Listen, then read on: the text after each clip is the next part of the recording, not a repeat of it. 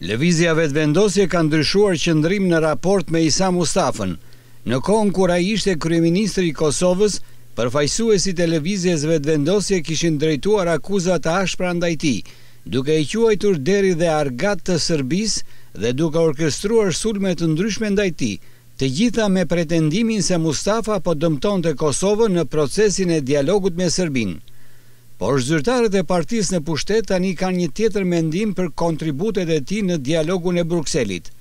Kryetari i Kuvendit, Glauk Konjufca, tani po i jep dorën ish-kryetarit të LDK-së, i cili ka arritur që nga BE-ja të nxjerrë letrën garantuese që Asociacioni të mos ketë kompetenca ekzekutive. Lëvdatat e Konjufcës për Isa Mustafën kanë nxitur reagime të shumta në vend. Njohësit e rrethanave politike në Kosovë i kanë kujtuar Konjufcës akuzat që ai dhe LVV-ja kanë bërë më herët ndaj ish-liderit të LDK-së. Letra e dikurshme e ish-shefes së diplomacisë europiane, Federica Mogherini, Jepte garancinë që Asociacioni nuk do të ketë kompetenca ekzekutive. Pikërisht këtë letër tani po e përdor dhe kryeministri Albin Kurti në procesin e dialogut me Serbinë për të kundërshtuar Asociacionin. Pas takimit të dy majit në Bruksel, Kurti ka deklaruar se në procesin e hartimit të Statutit duhet të merret parasysh ajo letër, Ish shefja e diplomacisë në letrën e saj jepte garanci se Asociacioni i komunave me shumicë serbe do të ishte në harmoni me ligjet e Kosovës. Shefja e USAID-it, Samantha Power në një konferencë të përbashkët me kryeministrin Kurti ka dhënë mesazhet e administratës Biden për dialogun me Serbinë dhe marrëveshjen e fundit të arritur mes dy vendeve. Ajo tha se ka patur bisedime të gjera dhe ka theksuar se është urgjente krijimi i Asociacionit dhe zbatimi i marrëveshjes. Power u shpreh se shpreson që Kosova dhe Serbia të përmbyllin dialogun e ndërmjetësuar nga Bashkimi Europian.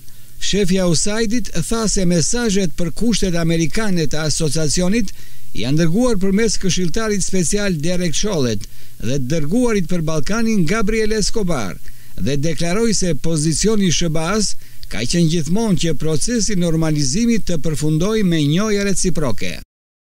Ambasadori i SHBA-së në Kosovë, Jeffrey Hovenier, e ka përmendur përsëri se Asociacioni i Komunave me shumicë serbe duhet formuar. Hovenier e ka thënë këtë në takimin që ka pasur me kryeministrin Kurti dhe administratoren e Agjencisë Amerikane për Zhvillim Ndërkombëtar Samantha Power. Përsëritim rëndësinë e veçantë të plotë që të gjithë të dhëna nga dialogu që kërkon atë për formimin e Asociacionit është definuar nga Hovenier. Të nxituar për të parë Kosovën teksa vazhdon luftën përpara në veprim kundër korrupsionit dhe sundimit e ligjit, ka shkruar Hovenier. Ndryshe, administratorja e Agjencisë Amerikane për Zhvillim Ndërkombëtar, Samantha Power, ka thënë se Asociacioni duhet t'i përmbahet parimeve që kanë këshilltarët e Departamentit Amerikan të Shtetit, Derek Chollet dhe i dërguari për Ballkanin Perëndimor, Gabriel Escobar.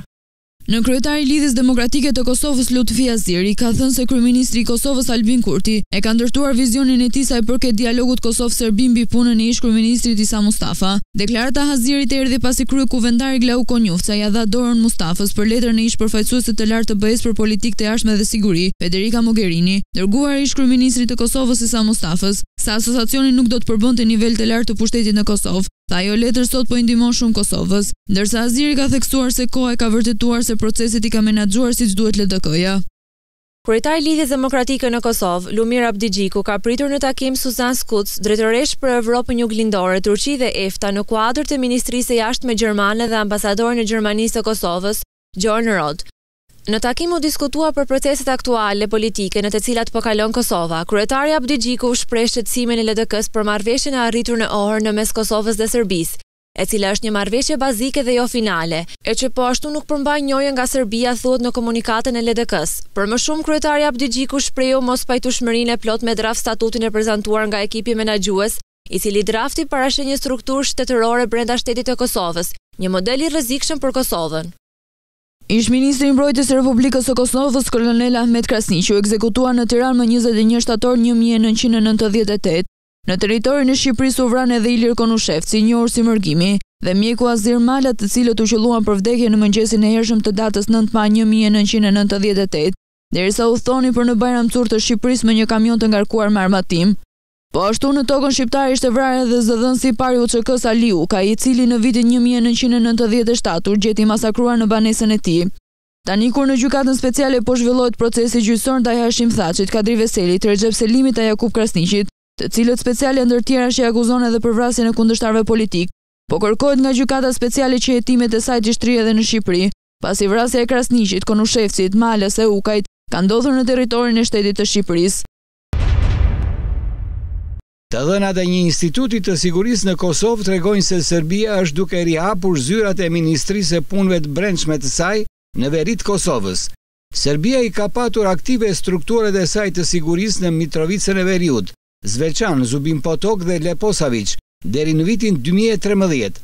Pas marrëveshjes së arritur në dialogun e Brukselit, ato u integruan në institucionet e Kosovës, kryesisht në Policinë e Kosovës, mirëpo pothuajse të gjithë pjesëtarët e Policisë së Kosovës nga komuniteti serb dhanë dorëheqje në fund të vitit të kaluar, duke kundërshtuar vendimin e Qeverisë së Kosovës për riregjistrimin e targave që qarkullonin me targa të lëshuara nga Serbia.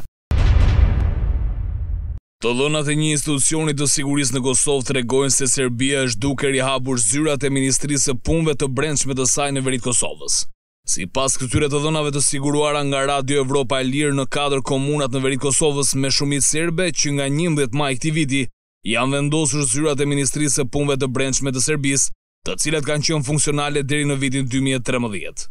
Sipas të njëjtave të dhëna, selia kryesore e Ministrisë së Punëve të Brendshme do të jetë në Zveçan, afër shkollës fillore Vuk Karaxhiç. Radio Evropa e Lirë nuk ka mundur ta konfirmojë këtë informacion në terren as nga institucionet serbe. Serbia kishte strukturat e saj të sigurisë në Mitrovicën e Veriut, në Zveçan, Zubin Potok dhe Leposaviq, deri në vitin dy mijë e trembëdhjetë. Pas një marrëveshje të arritur në dialogun e Brukselit ato u integruan në institucionet e Kosovës, kryesisht në Policinë e Kosovës. Mirëpo thuajse të gjithë pjesëtarët e Policisë së Kosovës nga komuniteti serb dhanë dorëheqje në fund të vitit të kaluar duke kundërshtuar vendimin e Qeverisë së Kosovës për riregjistrimin e veturave që qarkullojnë në veri me tabela që i lëshon Serbia. Kjo e fundit e mbështeti këtë veprim dhe në këmbim u dha të gjithëve kontrata me paga të njëjta siç i kishin marrë nga institucionet e Kosovës. Në ato kontrata ndër të tjera shkruhet se duhet të punojnë për të mirën e komunitetit serb. Është bërë mjaft, ishin fjalët e shefit të atëhershëm të operacioneve në Policinë e Kosovës për rajonin verior, Aleksandër Filipoviç, i cili i hoqi i pari uniformën.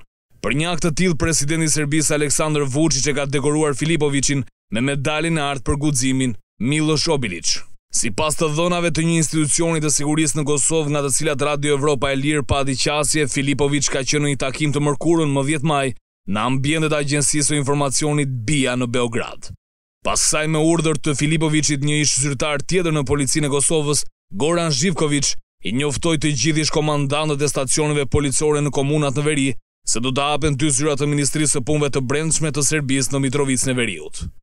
Zhivkoviç është i njohur për publikun si komandant i stacionit policor në veri të Mitrovicës, ndërsa në maj të vitit dy mijë e njëzet e dy ai informoi opinionin se rreth gjashtëdhjetë persona ishin në listën e të dyshuarve për përmbysje të rendit kushtetues të Kosovës.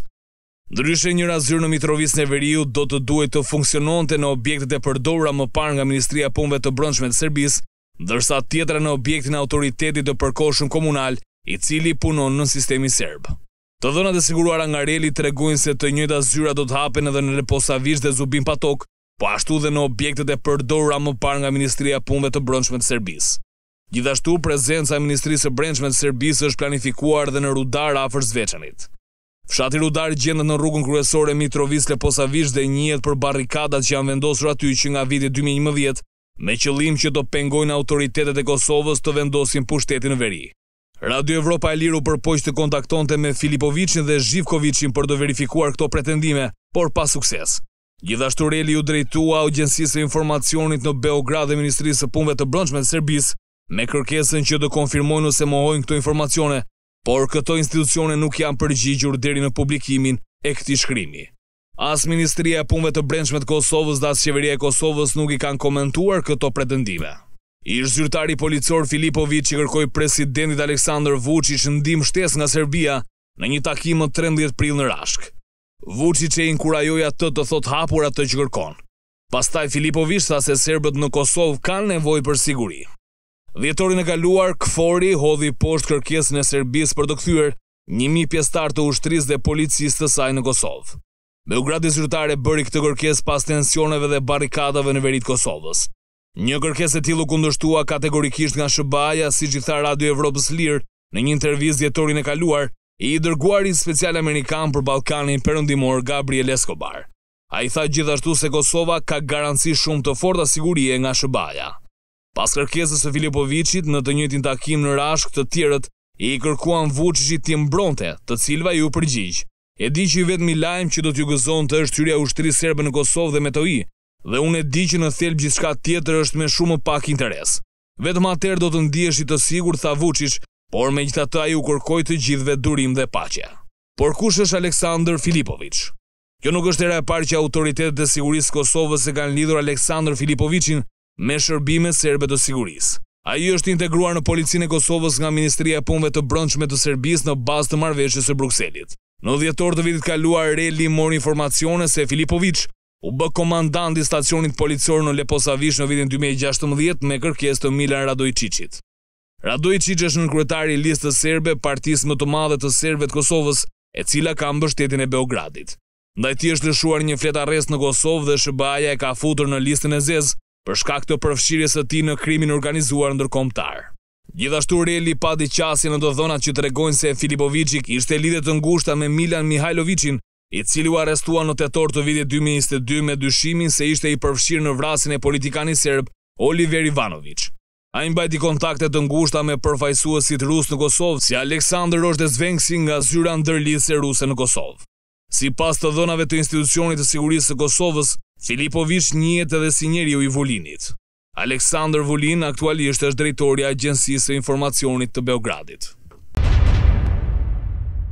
Bodo Weber, ekspert për Ballkanin dhe bashkëpunëtor i lartë i Këshillit për Politikat e Demokratizimit në Berlin, mendon se Kosova dhe Serbia do ta kenë të vështirë të zbatojnë marrëveshjen e arritur në Bruksel, Për shkak të situatës aktuale në katër komunat veriore me shumicë serbe. Sipas tij, Bashkimi Europian bëri gabim që arriti një marrëveshje mes dy shteteve në fillim të këtij viti, pasi shumica e serbëve të Kosovës në veri u dorëhoqën nga institucionet nga nëntori i vitit të kaluar dhe ende nuk ka plan për rikthimin e tyre. Kosova dhe Serbia aktualisht janë duke diskutuar për çështjet e themelimit të një asociacioni të komunave me shumicë serbe.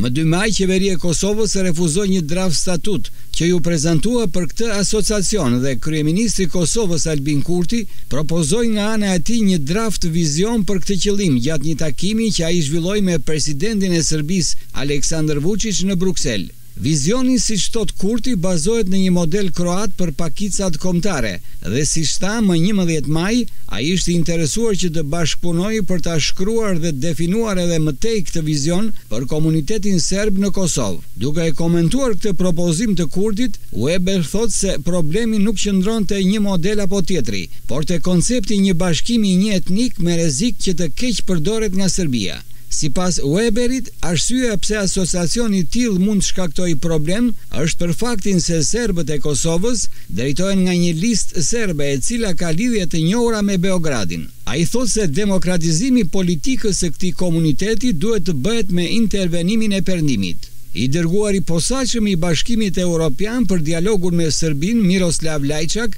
vizitoi Kosovën dhe gjatë vizitës bisedoi dhe me qytetarë dhe përfaqësues politikë, të serbëve në veri, si dhe u takua edhe me përfaqësuesit e Listës Serbe në Mitrovicën e Veriut. Ajo që dëgjova më shqetësoi, ne duhet të shmangim çdo mundësi përshkallëzimi dhe të përqendrohemi plotësisht te normalizimi, shkroi Lajçak në një postim në Twitter.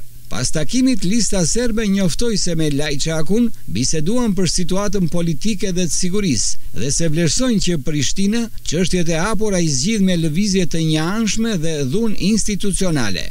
Kosova dhe Serbia janë duke zhvilluar negociata për normalizimin e marrëdhënieve që nga viti dy mijë e njëmbëdhjetë. Marrëveshje për Asociacionin e komunave me shumicë serbe është arritur në vitin dy mijë e trembëdhjetë, por nuk është zbatuar kurrë. Serbia ka këmbëngulur në kompetenca të gjera për këtë asociacion, ndërsa Kosova ka thënë se ky model rrezikon funksionalitetin e shtetit.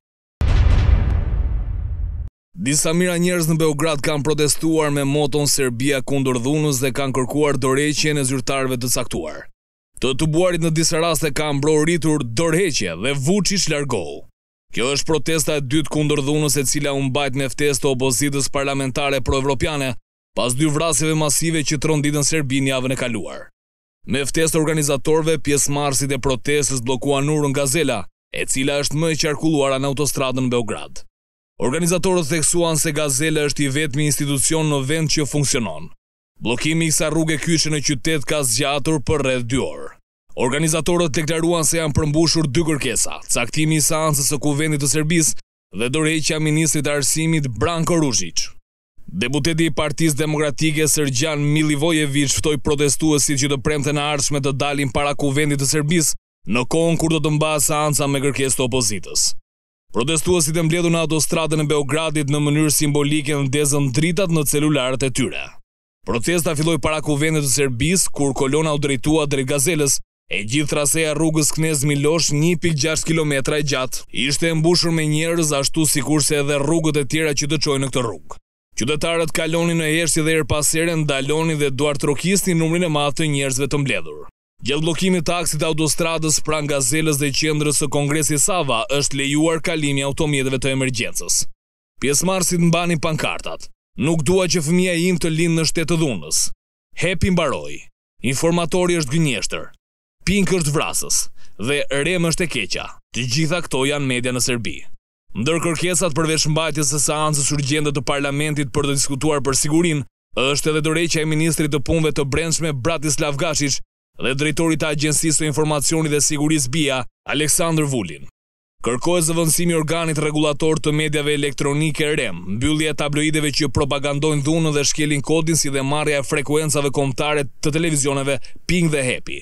Ata kërkojnë gjithashtu anulimin e reality-shfaqjeve dhe programeve të tjera që promovojnë dhunën. Opozita nuk hoqi dorë nga protesta e re dhe pasi kryetari i Kuvendit të Serbisë, Vladimir Orliç, caktoi seancën për situatën e sigurisë më tetëmbëdhjetë maj e cila ishte një nga kërkesat e opozitës. Përfaqësuesit e partive që thirrën protestën thanë se në këtë nuk u plotësuan kërkesat e protestuesve. Protestat u organizuan pas dy vrasjeve masive që tronditën Serbinë javën e kaluar. Një sulmues trembëdhjetë vjeçar vrau tetë nxënës dhe një roje sigurie, si dhe plagosin gjashtë nxënës dhe një mësuese. Një ditë më vonë në fshatrat Malo Orashje dhe Dubona një sulmues njëzet dhe një vjeçar vrau tetë dhe plagosi katërmbëdhjetë persona. Protesta e parë u mbajt më tetë maj ndërkaq autoriteteve iu dhanë pesë ditë afat për plotësimin e kërkesave. Ditëve të kaluara protestat u organizuan edhe në Novi Sad dhe qytete të tjera të Serbisë. Pushteti akuzoi opozitën se po e politizon tragjedinë. Ndjenjat e njerëzve u keqpërdorën në mënyrën më brutale. Prisja që ata të propozonin disa masa por gjithçka doli politikë e thatë, tha presidenti serb Aleksandër Vuçiç më tetë maj në televizionin Hepi. Vuçiç gjithashtu ftoi qytetarët të vijnë në Beograd më njëzet e gjashtë maj në një tubim për të mbrojtur vlerat liridashëse dhe demokratike të Serbisë. Ai tha se takimi do të mbahet para Kuvendit Popullor ose në sheshin e Republikës. Për shkak të tragjedisë në shkollën fillore të Beogradit deri më tani, dorëheqje ka dhënë ministri i Arsimit, Branko Ruzhiç, më shtatë maj. Autoritetet ndërkaq njoftuan një prani të shtuar të policisë në shkolla, ashpërsim të politikës penale dhe çarmatimin e plotë të Serbisë.